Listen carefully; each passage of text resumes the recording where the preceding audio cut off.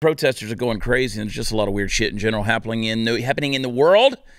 Isn't it funny, though, how liberals are suddenly perfectly clear on what a woman is when it's time to make babies or have babies or carry babies? Oh, yeah, they suddenly become biologists. I mean, how can you tell men that they aren't allowed to have an opinion? I, am so sick of you sending me the memes and the statements and the little quotes. And listen, according to liberal logic, anyone can identify as a woman. I'm doing it right now. You can do it at any time. And so, therefore, all of our opinions are equally valid identify I identify as being tired of all this horse shit. How about that? Uh, you asked the question, what is a woman? Well, the left would say, I'm not a biologist. I can't answer that question.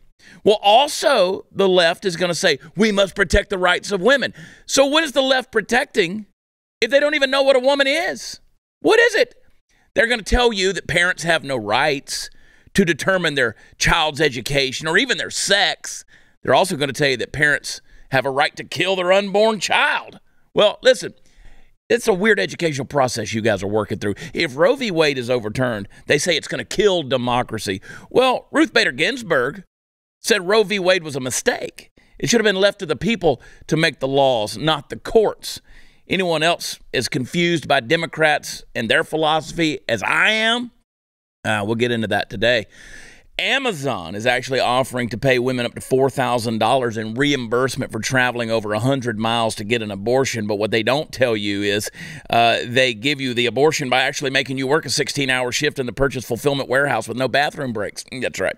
Joe Biden's, his memory, apparently, the loss of his, uh, you know, cognizant recognition has gotten so bad He's forgotten what he believes in. In 1986, he supported the Hatch Eagleton Amendment, which says plainly a right to abortion is not guaranteed by the Constitution. He supported this as a senator, but suddenly now he's a pro choice hypocrite. We see, how, we see how it works, Joe. Uh, Joe just needs to go back to the ice cream. He wasn't going to need an abortion anyway. Uh, there's a joke I could make right there. But anyway, Joe Biden uh, is quoted as saying abortion should be codified into federal law. Everyone else uh, trying to figure out who taught Joe the word codify.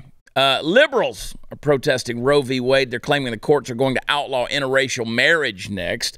Uh, it's interesting how liberals only remember minorities and that they exist only when they need to, you know, fearmonger for a hot button issue. Maybe if they spent less time trying to murder babies and more time actually trying to enact common sense policy, these things wouldn't happen. Oh, yeah, and by the way, 85% of all Planned Parenthoods are within walking distance of an urban black community. So you do with that what you want.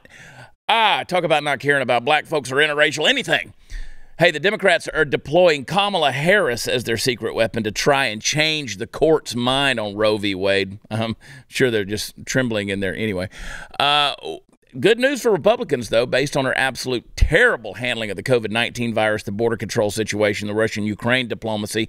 The best thing that could, that could guarantee Roe v. Wade being overturned is Kamala Harris defending Roe v. Wade. Now, popular comic strip Peanuts, you know, Charlie Brown, they're releasing a Mother's Day special, which teaches that dads can be moms too. That's right, you heard me. Uh, I mean, they're still going to sound like wah, wah, wah, wah. Charles Schulz has got to be spinning in his 22 year old grave. Can we just leave Mother's Day for women? Could we please? I mean, Bruce Jenner stole Woman of the Year from them. They took a heavy blow in the swimming industry and lost Brittney Griner to Russian detention all in the same month. Dads are dads, moms are moms, and if you're a single parent, that's a tough spot, but it doesn't mean your gender or job has now changed in order to fit the role.